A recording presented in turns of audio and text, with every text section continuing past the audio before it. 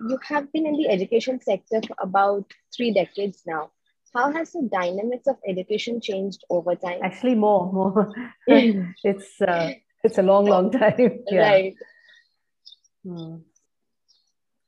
Um, yeah, I think that's uh, an interesting question to ask. Uh, sorry, just a sec. I'll just, yeah. Um, I think that's an interesting question to ask, partly because I think times have changed. It's uh, not just, uh, I think, education dynamics uh, that have changed, times have changed. Um, socio-economic uh, context has changed. thanks to internet and technology and social media and so on. So the way when I first started, it was in the early 80s. And uh, as a teacher, it, it, was a completely different era. It was a much gentler era, quieter, more yeah, slow, slow paced. So uh, the way you connected with um, colleagues in the in the school as well as children in the classroom was uh, was uh, was a far more simple uh, way compared to now and now what uh, but of course there are a lot of benefits from what's possible now with technology and uh, thanks to covid i think um, we have learned how much is possible uh, using technology so um, I sometimes uh, feel a little sort of nostalgic about uh, the gentler times uh, the 80s were compared to the 2020s, um, which uh, is a diff- it's a far more dynamic kind of environment things change. Uh, one year, things have changed. Schools have turned upside down and yet tried to function. Um, whereas, you know, two decades could go by and uh, schools would carry on chugging along um, the way they've always. They're uh, doing reasonably well and, uh, you know, uh, educating children uh, with a certain level of sincerity and so on. So I think um, I think that's been the the biggest change. The fact that technology uh, and the pace of life has changed the way schools function. Another important thing that I, uh, I, I have begun to notice is, uh, especially with the private school uh, sector, government schools uh, perhaps uh, less so, but definitely private schools. Parents have become far more demanding parents have, uh, are, are, very clear what they uh, what they want from uh, uh from the, the schools uh, because they're paying high fees. And uh, a lot of times you know teachers and school managements therefore tend to feel that they have to you know make sure that they are helping they're satisfying their, their parent community in a way, I think in the 80s and before that, when I myself was a student uh, in, in, in the 70s and so on, I, I don't think people um, people just did their job as teachers, schools, um, educators, educationists, and so on. They didn't really focus on looking at satisfying parents uh, like a customer. I think that um, consumer mentality of education is far more evident now compared to what it was earlier. And, and that's why I said it was also a gentler time. Of course, I'm not saying everything was good. I don't. I, it, it, one shouldn't think that everything was great about um, you know an earlier time. But um, I think schools functioned as purely educational institutions rather than uh, as institutions that need to market and promote themselves and constantly vie with each other in order to get uh, the best students or to get um, um, the parents' attention and uh, respect and so on. I think those are things that have changed. Absolutely. Even if you go to see, even normally, not even 70s, 80s, even the 90s, how the schools were and now how schools are has changed mm-hmm. completely. Very true. So, Very yeah, true. it has Yes, even from the 90s to 2020, it has changed. Right. Yeah. So uh, the Teacher Foundation, since it began, I think around 2002, uh, it has been reaching various parts of India as well as international countries. Uh, how has the journey for TTF been so far? Yeah, so we are going to be completing 19 years in uh, in June, and which means that we are going to be embarking on our 20th year uh, from uh, July onward, sorry, June onwards.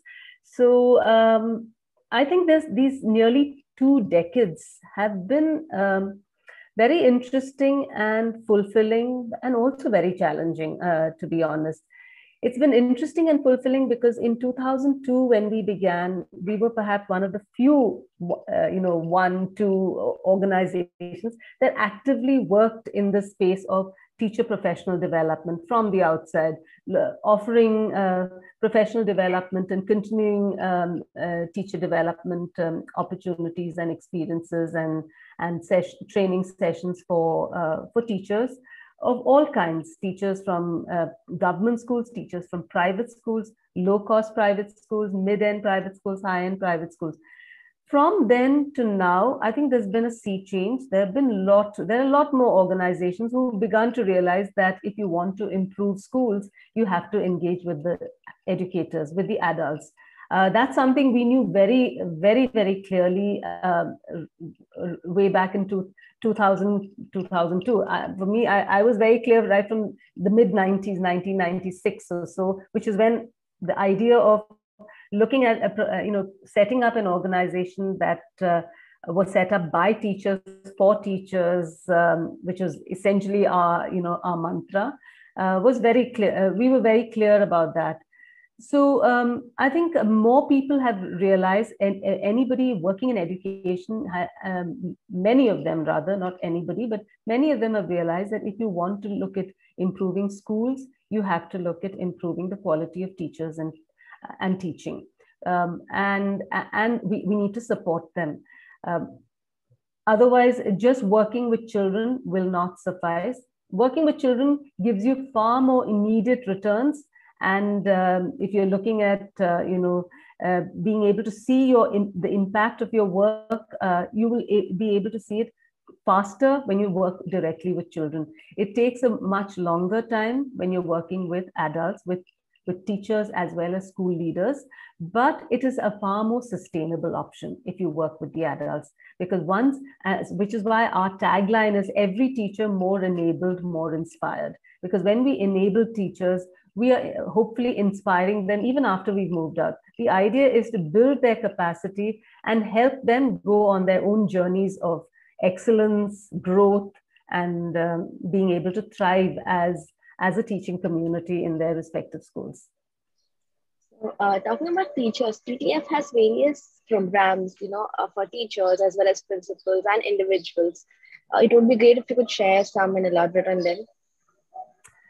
Yeah, sure. Uh, we have a range of programs uh, for teachers as well as school leaders. Uh, we have uh, programs for beginner teachers. We have uh, programs for teachers who've been in the profession for about say three, four, five years.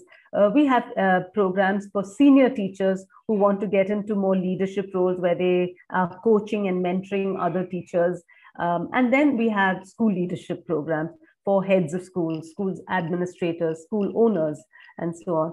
Um, and um, uh, so some of our flagship programs are for say beginner and um, middle rung teachers would be uh, you know programs where we offer sustained uh, teacher development, uh, uh, you know, well, a, teacher development opportunities across a whole year or across one and a half to two years, which means because we we believe that if you uh, we also have short term one day two day sessions also or uh, but we believe that if you want to bring about a, an impact um, an impactful change in in teaching practices and classroom practice practices you need to uh, help engage with the teacher and support the teacher at least across one academic year which means that we uh, we're offering programs we also offer school-based support uh, where we are observing the teachers in their class school-based or uh, uh, this past year we've been doing a lot of virtual support where we observe teachers give them feedback. We also demonstrate to teachers how to teach uh, so that they they can also see because uh, they it's uh, they're well within their rights to say it's all fine for you to say but i how do we manage 60 children or 50 children in the class uh, uh, in very challenging circumstances and yet um, use more contemporary and more progressive teaching methodologies. So we have to be able to be uh, demonstrate to children uh, demonstrate to teachers through working with children. So those are some of the things that we do. So our work with teachers is very intensive. Um, for middle level, uh, sorry, for senior level teachers, we have a program which is called, which we've been uh, running for the last uh, eight years. This is going to be our ninth year, uh, which is which is called Coaching for School Success, where we're looking at building a core group of truly rigorously trained um, senior teachers who can be mentors and coaches for other teachers so that when new teachers come in or even existing teachers are there, they can actually plan the professional development uh, support for their own school, uh, for their own uh, teachers. And lastly, we have school leadership programs. We have a program called Headlamp, which is um, which is an acronym for Heads Leadership and Management Program. And um, till last year, we were running it uh, since 2006 we've been running it. Um, we were running it as a face-to-face offline program. But last year we revamped it. We were anyway planning to revamp it regardless of covid. But when covid hit us we decided to revamp it as a um, completely online program. And that has been good because now we, uh, we can reach out to heads of schools from across the uh, uh, across the country and maybe other parts of the world um, you also talked about, you know, that we work with in, uh, internationally. Uh, our brief is very clear. But when we're working with schools outside the country, we work with Indian teachers because uh, uh and teachers who are, uh, you know, uh, teachers in, who are teaching in schools that offer the Indian curriculum. For instance, there are lots of CBSE and ICSE schools, say in the Middle East or in maybe in um, Singapore and Malaysia and so on so we're happy to uh, work with those sort of schools. Uh, we don't necessarily work with uh, schools, uh, uh, you know, that are international schools abroad because um, we feel that they are anyway privileged. They uh, they have access to good resources themselves, and I think we have a lot of work to do with our own, you know, several million teachers within India and Indian teachers who are working in, in, other parts of the world, but who are also constrained by having the, by the fact that they've gone through the Indian school system and education system, uh, which uh, they need to unlearn, and that's where that's where Teacher Foundation comes in. That is really nice. Uh, as you already mentioned about your virtual programs, that was my next question. So TTF recently went online how was the experience? You already shared a bit but maybe it would you know share more and what are the programs yeah. offered and how does it all so um, now we do um, the past one year uh, we we uh, we shifted to online teacher training from april last year. And since then the entire uh, you know these uh, 11 12 months we've been doing only online training completely online where we're training teachers, we're showing, and uh, some of the initial trainings were actually to show teachers how to use digital tools because they were suddenly thrown in deep end. They were using either Zoom platform like this one, or it could be Microsoft Teams or you know Google Meet. But they were tending to resort to their lecture-based training. So they'd sit and talk to the students, and students had their voices mute, uh, videos muted, audios muted, and there's no way for a teacher to know because at least in a classroom, even if the teacher is lecturing, you can still look around and get a sense of is this child or are these children attentive or are they uh, you know getting it or are they uh, understanding it? Whereas uh, uh in a virtual classroom where the teacher is only talking th- there's no way you can check. So you had to, but there are lots of wonderful digital tools available and so we were training teachers in how do you use these digital tools to engage learners. And you, uh, the teacher also knows, okay, these students are listening. Teach, the students are there behind, uh, you know, that muted um, uh, video or audio, and that they are participating and paying attention. And also, how do you do group work? through breakout rooms, etc. So we had to show them the and also a range of formative assessment tools that are there, uh, summative assessment tools that are there, for, uh, tools for active learning. So these are things that we actually initially started training them in. And then subsequently, of course, we went, went into, uh, you know, offering our regular courses and modules in online uh, format. Um, so Headlamp has become online. Coaching for School Success has been online. Um, uh, Whole School Quality Circle Time, which is another signature program that we offer to foster uh, teacher and student well-being in the schools and to foster social and emotional learning of uh, children. Um, that is also turned online. Um, and we also do demonstration lessons on, online.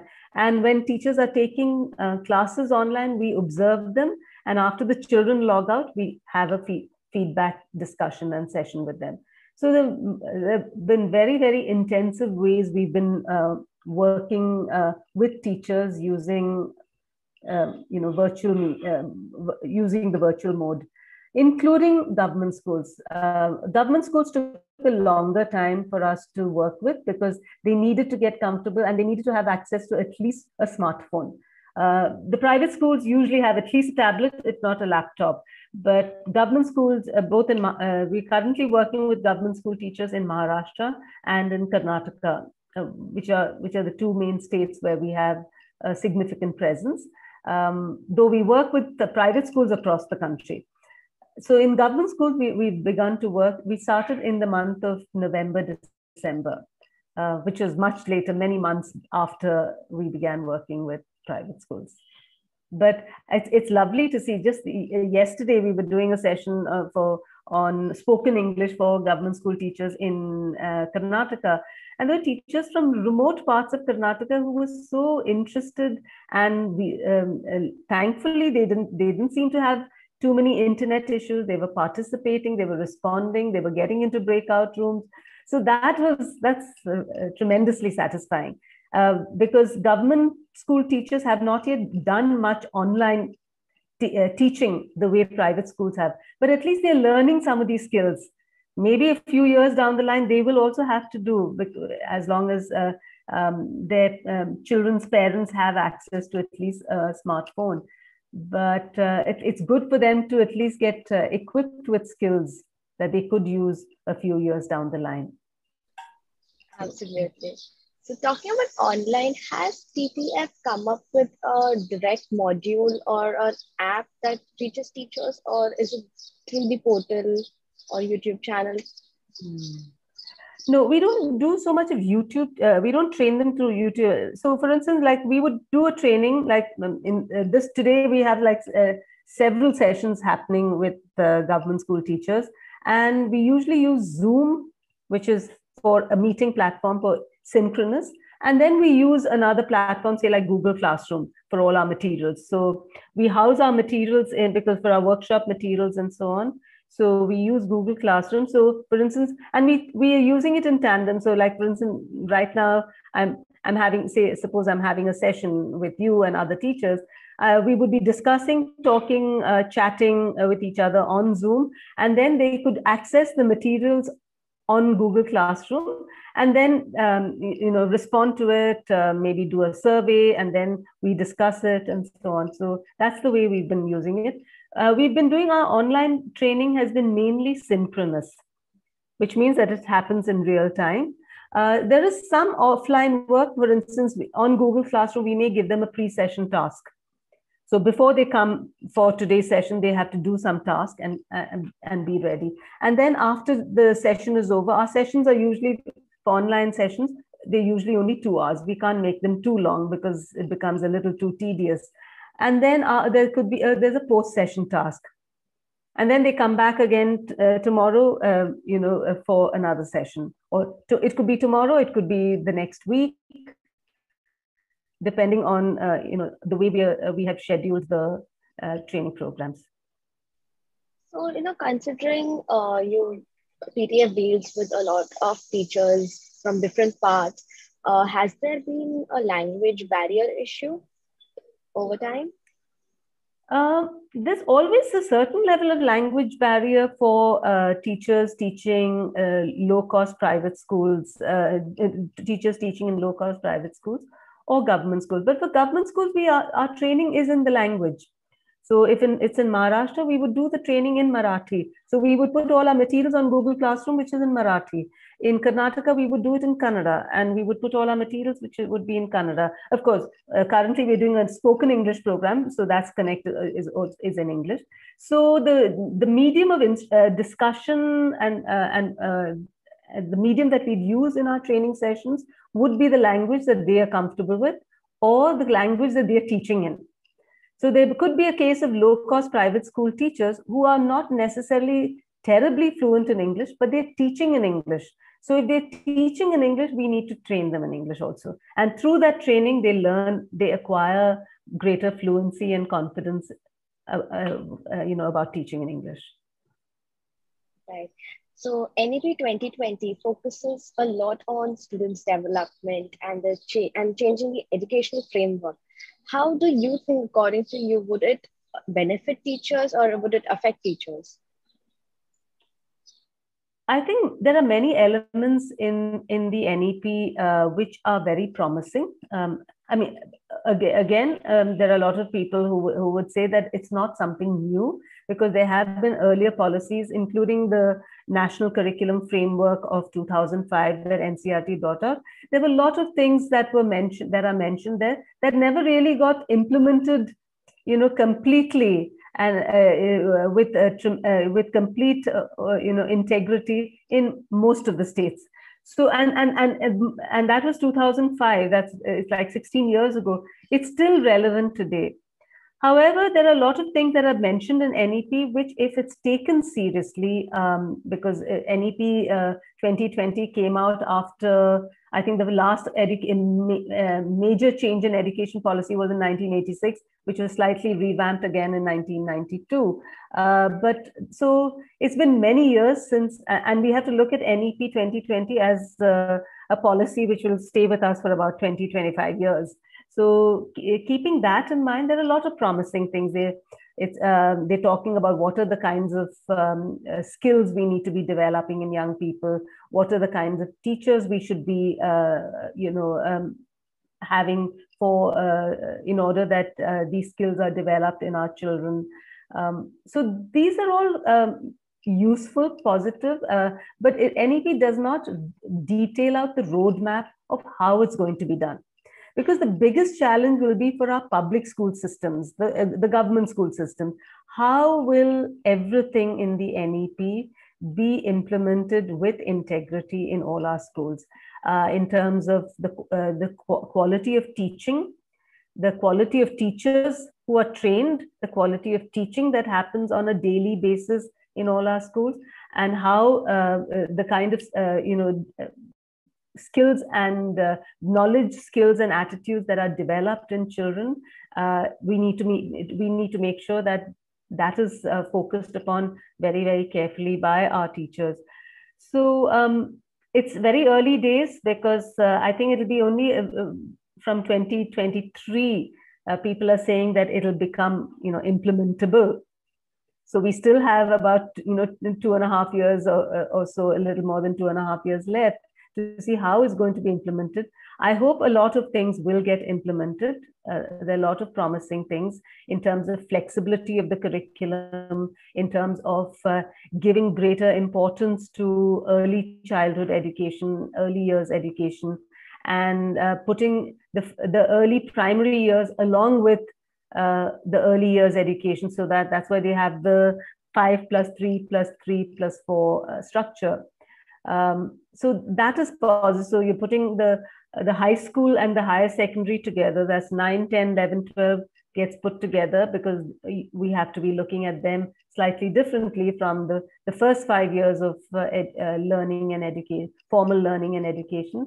And then you have the, the middle years of uh, grade three, four, five, and six, seven, eight, uh, which would be the three plus three so uh, uh, also the flexibility of the curriculum the fact that you can you can look at uh, taking art subjects along with science subjects uh, along with um, other creative subjects. So the possibilities and the potential are tremendous.